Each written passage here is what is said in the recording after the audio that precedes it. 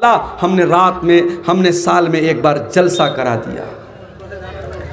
जब आपके घर की औरतों को दीन से दूर करने वाली चीज़ें 24 घंटे पेश की जा रही हैं तो साल का एक दिन का जलसा, एक रात का जलसा मेरे भाइयों काफ़ी नहीं है, ये बात याद रखिए आप। जुमा की नमाज़ में आप औरतों का इंतज़ाम नहीं रखते। मैं अपने यूपी में, बनारस में जाके कहूँ तो लोग हैरत करेंगे कि क्या अहले हदीसों के यहाँ भी ऐसा हो रहा है, लेकिन आपके बिहार और बंगाल में हो रहा है। यानी मिजाज ही नहीं है, साहब। मस्जिदें हैं, शानदार मस्जिदें हैं। गाँव वाले करोड़ों के मालिक हैं। चाहे तो उसमें औरतों का इंतज़ाम कर सकते हैं। उनकी एंट्री अलग हो सकती है, उनका रास्ता अलग हो सकता है। चाहे तो सब कुछ हो सकता है, मगर हम चाहते ही नहीं। बंगाल के कितने इलाकों में गया? अहले हदीसों की मस्जिदों में दो दो अजान हो रही है, साहब, जुमा के दिन। मैंने पूछा, ऐसा क्यों हो रहा है? बोले मौली साहब, एक जमाने से होता चला आया है। मैंने कहा, तब हमें अपने आप को अहले हदीस नहीं कहना चाहिए। हमें अपने आप को अपने बाप दादा का मुकल्लिद कहना चाहिए, मुकल्लिद। अरे हमने अहले हदीसियत इसीलिए कबूल की है, हम किसी की तकलीद नहीं करते। जब हमने इमाम अबू हनीफा, इमाम मालिक, इमाम शाफी और इमाम अहमद इब्ने हम्बल जैसे बड़े बड़े इमामों की तकलीद नहीं की तो अपने बाप दादा की तकलीद करेंगे हम। आज बंगाल के कितनी मस्जिदों में फ़र्ज़ नमाज़ के बाद मौली साहब हाथ उठा के दुआ कर रहे हैं। इज्तमाही दुआ हो रही है। इमाम साहब दुआ कर रहे हैं। सारी पब्लिक आमीन कह रही है। क्यों हो रहा है मेरे भाई? ये तकलीदी जहन क्यों है आपके यहाँ? रमज़ान का महीना आ रहा है। कम से कम आप अपनी मस्जिदों में औरतों के लिए इंतज़ाम कराओ मेरे भाई। मैं आपकी गैरत को जगा रहा हूँ। मेरे नौजवानों, अगर अपने कौम की औरतों को बचाना चाहते हो, अगर चाहते हो कि तुम्हारे गाँव की लड़कियाँ और बहनें तुम्हारी कल आने वाले दिनों में जो हालात हैं मुर्तद न हो जाएँ तो अल्लाह के वास्ते अपनी बेटियों को ईमान सिखाओ उनको इस्लाम सिखाओ उनको कुरान सुन्नत सिखाओ और उसको सिखाने का सबसे सिंपल तरीका ये है कि कम से कम और बता दें। हम्म। कुछ लोग यहाँ पर मतलब शादी ब्याह में हम्म। दुल्हन के यहाँ कबूल कराते हैं। अगर अगर कबूल सिस्टम अगर दुल्हन के यहाँ कबूल नहीं कराए तो घर में ले जाके फिर दोबारा शादी पढ़ाते हैं। हमारा शादी पढ़ाना भी नहीं है उस पर। जी। ये शेख साहब ने जो बात कही हमारे यहाँ भी ये चीज़ एक, यानी एक रस्म और रिवाज बन चुकी है। जब निकाह होता है मौली साहब जब निकाह पढ़ाने के लिए आते हैं तो शरीयत का मसला क्या है कि लड़की से इजाज़त ले लेना काफ़ी है।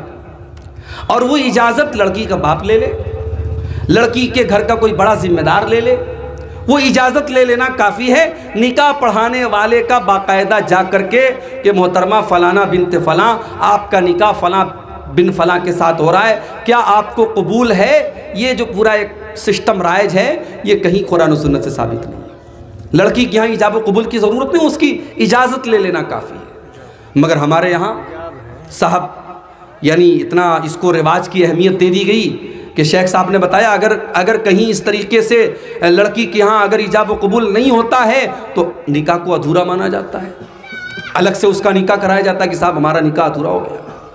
मैं खुद निकाह पढ़ाने जाता हूँ तीन बार इजाब कबूल कराने का हमारे यहाँ रिवाज है।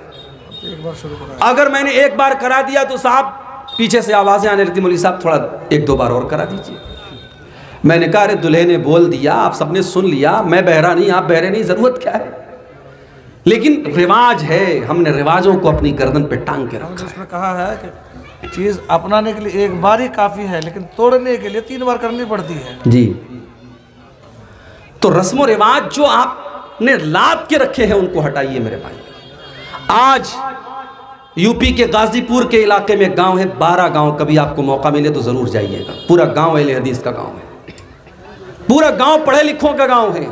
पुलिस में और आर्मी की सर्विस में वहाँ सत्तर परसेंट लोग आपको मिल जाएँगे। पढ़े लिखे लोगों का गाँव है। मगर अहले हदीस का घर है, मुसलमान का घर है, शादी हो रही है साहब। सुहाग की जो चीज़ें जाती हैं, शादी के मौके पर जो चीज़ें जाती हैं, उसमें सिंदूर भी जाता है औरत के मांग में भरने के उसमें गैर मुस्लिमों की बहुत सारी रस्म रिवाज की चीज़ें भी जाती हैं। दुल्हन जब घर में आती है पहली बार तो कोई छोटा सा बच्चा उसकी गोद में दिया जाता है कि साहब ये बच्चे को गोद ले लेगी तो इसकी भी गोद भराई होगी इसका इसको भी अल्लाह ताला आगे चल के बेटा देगा। मंगलसूत्र भी भेजते हैं। मंगलसूत्र भेजा जाता है उसको भी सुहाग की एक निशानी माना जाता है। इस्लाम के अंदर सुहाग की कोई निशानी नहीं माफ़ कीजिए। शादीशुदा औरत के लिए उसके बदन में कोई निशानी नहीं है कि इस्लाम ने कहा कि हाँ ये शादीशुदा होने की औरत की अलामत है। हाँ बस एक पहचान है कि जो शादीशुदा औरत रहेगी, वो अपने शौहर के लिए सजेगी, संवरेगी। उसको उसके सजने संवरने का हुक्म दिया गया। बाकी ये मंगलसूत्र और ये सिंदूर, ये तमाम की तमाम मुशरकाना चीज़ें हैं, गैर मुस्लिमों की रस्में हैं। इस्लाम का उससे कोई ताल्लुक नहीं। बाकायदा एक दिन हल्दी हो रही है। हल्दी वाले दिन सारे दुल्हन के घर की लड़कियाँ हल्दी कलर का कपड़ा पहनती हैं। एक दिन मेहंदी की रस्म हो रही है। सारे घर की औरतें मेहंदी कलर का कपड़ा पहनती हैं। ये रस्म व रिवाज, इन्होंने आज हालात ये पहुँचाए हैं कि गरीब बेचारा अपनी लड़की की शादी करने के पहले हज़ार बार सोचता है, मैं कहाँ से इंतज़ाम करूँगा साहब? मैं कहाँ से सौ, दो सौ लोगों को खाना खिलाऊँगा? मैं कहाँ से अपनी बेटी को इतने जोड़े कपड़े दूँगा, इतना जेवर दूँगा? आज गरीब के लिए चैलेंज बनता चला जा रहा है। मेरे प्यारे साथियों, अल्लाह के नबी दुनिया में रस्म रिवाज को तोड़ने के लिए आए थे। कुरान कहता है, वही मेरा नबी तुमको रस्म रिवाज की बेड़ियों से आज़ाद करने के लिए आया है। मेरे नबी तुमको रस्म रिवाज से आज़ाद करने के लिए आए हैं। मेरे प्यारे साथियों, उस नबी का कलमा अगर हम और आप पढ़ते हैं तो अपने आप को इन रस्म रिवाज से आज़ाद करें और अपने घर की औरतों को भी इसके लिए तैयार करें और इसके लिए आपको अपने घर की औरतों पर मेहनत करनी पड़ेगी। कम से कम आप जुमा की नमाज़ में और ईदैन की नमाज़ में बिल्कुल आप इंतज़ाम कीजिए औरतों का। और मार हमारे शमीम भाई हैं और हमारे गाँव की और सारे लोग जिनको भी अल्लाह ने नवाजा है मैं सबसे गुजारिश करूँगा कि इस साल आने वाली ईद पर मैं फ़ोन करके पूछूँगा कि आपके गाँव की ईदगाह में औरतों का इंतज़ाम हुआ कि नहीं हुआ। और मैं इस उम्मीद के साथ यहाँ से जाऊँगा कि इन आप इसका इंतज़ाम करेंगे। इन मेरे भाइयों रमज़ान का महीना जिस तरीके से आपके लिए तोहफ़ा है, औरतों के लिए भी तोहफ़ा है। हमारे यहाँ क्या होता है साहब? रमज़ान का महीना आया, हमने औरतों को किचन में झोंक दिया। तुझे ये बनाना है, तुझे वो बनाना है, तुझे वो बनाना है। जो आइटम साल के ग्यारह महीने नहीं खाए जाते, वो रमज़ान में खाए जाते हैं। और बड़े फ़ख्र से लोग कहते हैं मोली साहब, मेरी बीवी तो ये बना के खिलाती है, ये बना के खिलाती है। अरे अल्लाह के बंदे, ये एक महीना खाने पीने का महीना नहीं है। ये एक महीना इबादत का महीना है। अपने घर की औरतों को भी आप मौका दीजिए। रमज़ान का जब आखिरी अशरा आता था, जब आखिरी दस दिन आते थे, अम्मा आयशा फरमाती हैं, अल्लाह के प्यारे नबी रात रात भर जागते थे, अपने घर वालों को जगाते थे, अपनी बीवियों को जगाते थे और अपनी कमर कस लेते थे, अपने घर वालों से अलग रहते थे और आखिरी दस दिन इबादत में गुजारा करते थे। तो औरतों को भी आप शामिल कीजिए। और हो सके तो सोशल मीडिया से दूर रहिए। और कुरान को वक्त दीजिए मेरे भाई। अल्लाह ने साल के बारह महीनों में कुरान को नाजिल करने के लिए रमज़ान को क्यों चुना? शाहर रमज़ान कुरान। रमज़ान का महीना वो है जिसमें कुरान को उतारा गया। हदल्लिन्नास ये कुरान सारी मानवता को रास्ता दिखाता है। बैनातिमिनल हुदा वल फुरकान। इस कुरान के अंदर ऐसी आयतें हैं जो हक और बातिल को खोल खोल के बयान करती हैं। हमने रमज़ान को तबर्रुक की किताब बना लिया। हमने कुरान को पढ़ करके दम करने की किताब बना लिया। कुरान तो दिल की बीमारियों के लिए शिफा है, कुरान तो हिदायत की किताब है। कम से कम रमज़ान में आप इस कुरान पर गौर कीजिए मेरे भाइयों, इस कुरान को पढ़ करके, समझ करके पढ़ने की कोशिश कीजिए। और एक बात याद रखिए, जब आप कुरान की तिलावत करेंगे, उसकी खैर बरकत आप अपने जिस्म के ऊपर भी महसूस करेंगे, अपने मिजाज के ऊपर भी महसूस करेंगे। अब्दुल्ला बिन अब्बास रज़ी अल्लाह तु फरमाते हैं, जब अल्लाह के प्यारे नबी रमज़ान का महीना आता था, हज़रत जबरील अलैहिस्सलाम को कुरान पढ़ पढ़ के सुनाया करते थे, और जब कुरान पढ़ पढ़ के आप सुनाया करते थे तो उसका असर ये होता था, कान अजवद मिनर मुरसला। अल्लाह के प्यारे नबी, तेज़ चलने वाली आंधी से ज़्यादा आपकी सखावत और फयाजी का आलम होता था, एक तेज़ चलने वाली आंधी से भी ज़्यादा अल्लाह के प्यारे नबी की सखावत होती थी। तो आप कुरान की तिलावत को आप आने वाले रमज़ान में मामूल बनाइए। अपने नौजवानों से एक बात कहना चाहूँगा। रमज़ान के महीने में आपने देखा आपने देखा होगा कि बहुत सारे नौजवान दिन में तो माशाल्लाह रोज़ा रखते हैं। रात में बैठ कर के मोबाइल पर उल्टी सीधी चीज़ें देखते हैं। रमज़ान का दिन जैसे बरकत वाला दिन है, वैसे रात उसकी बरकत वाली है। अगर आप रमज़ान के दिन में अपने आप को गुनाहों से बचा के रखते हैं मेरे भाइयों तो रमज़ान की रातों को भी अपने आप को गुनाहों से बचा के चलिए। अरे हम और आप खुश नसीब है, हमें रमज़ान मिला है।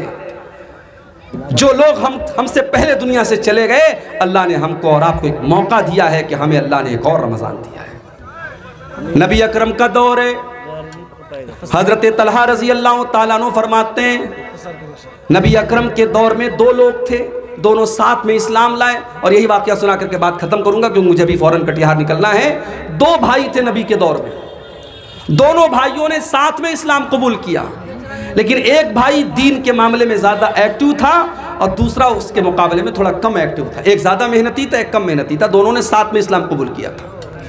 हज़रत तलहा कहते हैं कि एक भाई का अल्लाह की राह में शहादत हो गई, शहीद हो गया। वो जंग करते हुए शहीद हो गया। दूसरा भाई उसके एक साल के बाद अपनी नॉर्मल मौत के ज़रिए उसका इंतकाल हुआ। नॉर्मल उसकी डेथ हुई तबई मौत वो मरा। एक अल्लाह की राह में शहीद हो रहा है, जो मेहनती था, जो थोड़ा कम मेहनती था, वो एक साल के बाद अपनी नॉर्मल मौत के ज़रिए उसका इंतकाल होता है।